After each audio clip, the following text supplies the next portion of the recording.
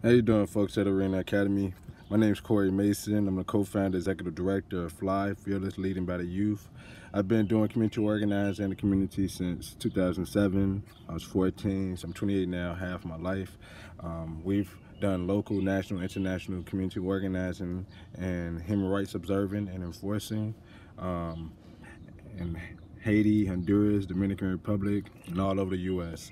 And I've received all of the top trainings from the Obama Foundation, from Midwest Academy, from Soul, from many entities um, training um, nowadays current activists.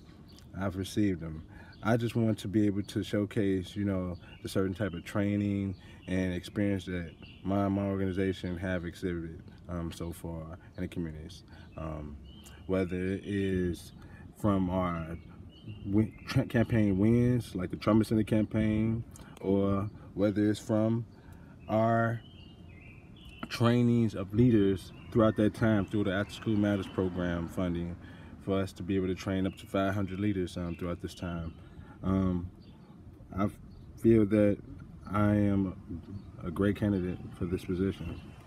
Um, thank you.